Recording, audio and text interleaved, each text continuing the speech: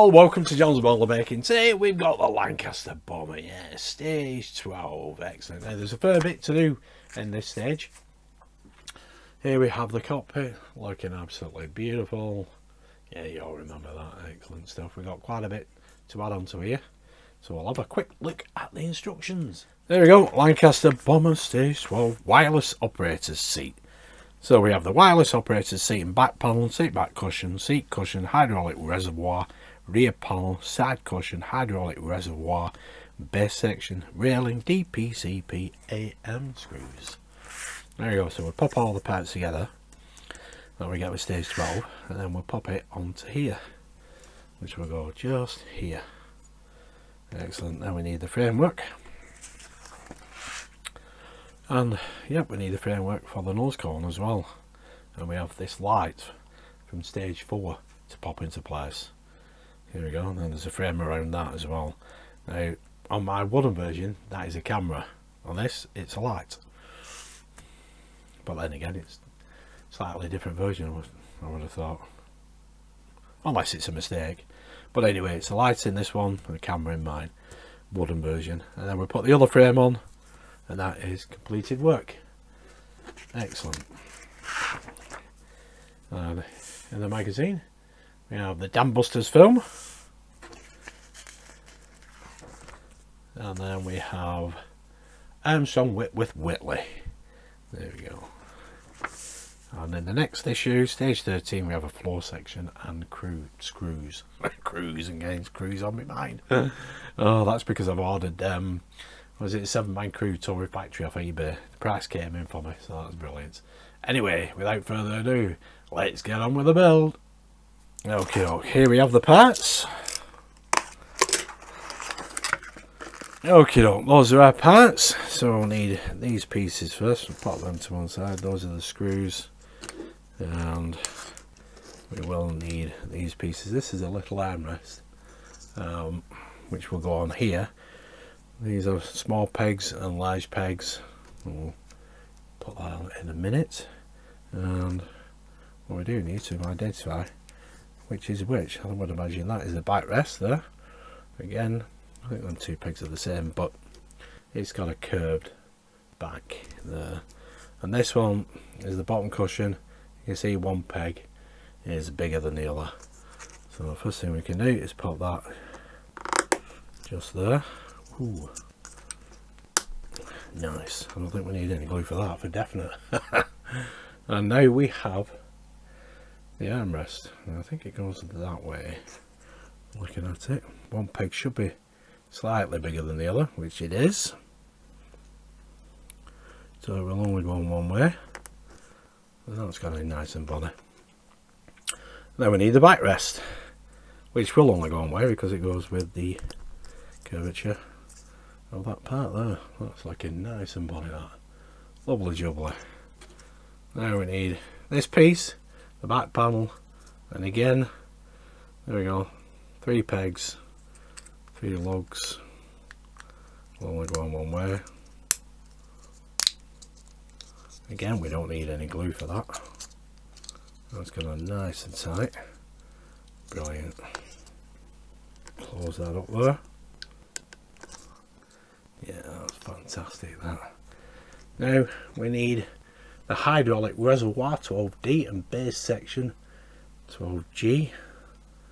This will go on to here like so. This should just be a push fit connection. It is again, you won't need any glue for that whatsoever. And this basically will go into there. Now I think we'll need to glue that in. Yeah, looks least that will need to glue that piece in. I have got some glue with a little brush on it. So I can just brush a little bit of glue on to here. There we go. Normally I would use tube, super glue in a tube, but uh, I picked this up the other day because I wasn't in Poundstretcher uh, I usually get all my glue from Poundstretcher. It's only a pound a go, obviously, being in Poundstretcher. There we go. Pop that into place. Just there, like so. Have to hold that. Like that set. There you go. That's how that looks. Brilliant. Give that a minute or two. Whilst that's setting. We got the cockpit. Pop that to one side. Now I think I've got one or two of these pieces a bit loose. So I need to glue these. Yeah pilot seat. I think everything is loose actually. There we go yeah. So I'll get these glued in. Back with you in a sec. There we go. Everything is now glued into place there. Brilliant. There we need to get this um, wireless operators seat in place. There's two grooves there slots and it will just sit in there and get it lined up correctly. Pointing in the wrong place. Let's see there we go. That's how it goes. Excellent. You can see the detail for that reservoir. So I'll get that glued into place now. It's just a little bit of glue. There we go. It does set really well this glue as well. Get that lined up there. And pressed into place. Excellent oh brilliant. Love the detail on this. It's fantastic. Now once I get my crew members be able to pop, pop, them all into place. We do get I would imagine we get a pilot but I'm not sure about the rest of them. Okay next we need this part of the frame. Cockpit wall interior cockpit wall. And uh, four screw holes. One two three four. Yeah see all them? And basically that will go just there like that and we pop that together with AM screws. Let's get the first screw into place. Pinch a little bit of oil on the end of that because we're going into metal of course.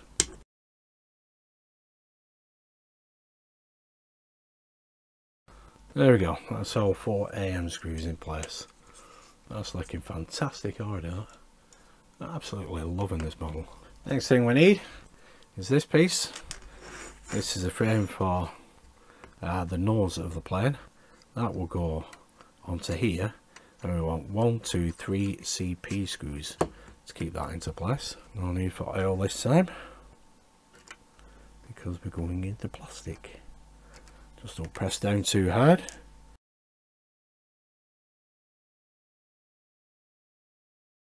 Excellent. Now we need this light. I believe that goes that way in to here. Now this is going to be fun and games is it not? And we have a frame as well. Well, this frame to hold it into place. So basically this light there's a little hmm, you can see it or not there's a little groove there and there for the light. Yeah it just sits into the two grooves. So the end there will sit like that. Yep and then the frame will sit over the top of it in to those two holes right so that will go there like that and it should basically clamp the light into place. That's not going to be easy is it? Okay okay okay so first thing we need to do is to pop that cable through that hole. We'll take that out. We have to glue these into place as well so we can pop the cable through there like that and then position that that way around and it will rest just there like so like that. Yeah and then we put the clamp into them other two holes. Well it looks like a clamp. I think it's a frame really that. Um, like I said before on my wooden version this is a camera not a light. So um, yeah do we glue that in first? It would make sense to glue this into place first and then glue the frame over the top. So pop a bit of glue there, a bit of glue there, pop that out of the way, and now we can pop this into place. There we go, that's that light in place. Now make sure you get it angled correctly as well. It is taking a little bit longer than usual, but that glue to set for that. Okay, now we need to get this bracket into place, 12H. There are two holes at the bottom of the frame, and we can just use the tweezers. There we go, pop it into place. We need some super glue on the end of those two legs of that frame. There we go, you can squeeze it in. Excellent. There we go, there's that bracket in place over that light. Just make sure you get the angle of the light correct. That is now glued into place. It's taken a while to set off and just route the cable through that frame like that. That is nicely glued into place.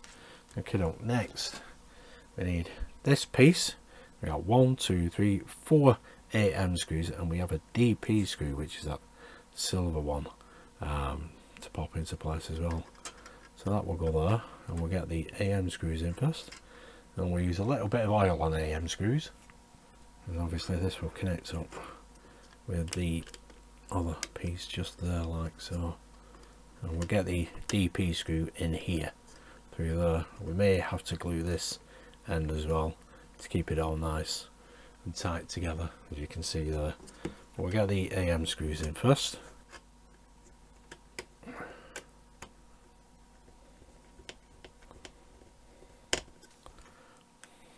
Be mindful of the lens.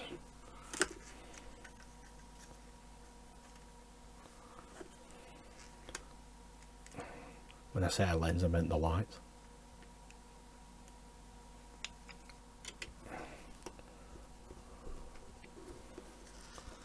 Get the last of the AM screws in here. Right, then we need this DP screw. Keep that nice and body like that. Get that DP screw into place. There we go. Oops, there's. I shouldn't have fallen out. That's something else I forgot to glue into place. Well, there we go. That is everything in place now. That handrail I've just glued back into place. Uh, but yeah, I've not glued here yet. I might just wait a little, see what else we actually put around this place because there's a hole there. Looks like it's designated for something. But that is brilliant. That is stage 12 complete. That was very fiddly. that light. And like I said in the wooden version, it's the camera. Well, there we go. Brilliant. Excellent stuff. So there we go folks. That is it. That is stage 12. The cockpit is looking absolutely fantastic. Level of detail is incredible. Um, absolutely loving it. This doesn't move, obviously, this light. Not now it's glued into place anyway. Would have been difficult for it not to be glued into place because that frame above it um, just, well, it doesn't actually clamp it down. It just, just sits on top of it and you've got to glue that into place anyway but uh, anyway it's in place. That's fantastic. And everything else is now glued down. Excellent stuff. There we go. So that is stage 12 completed stage 13 and 14 will be on my channel as soon as possible. But anyway there we go. Thanks for tuning in and watching. If you did like that give us a big thumbs up subscribe and i'll see you next time for stage 13 bye for now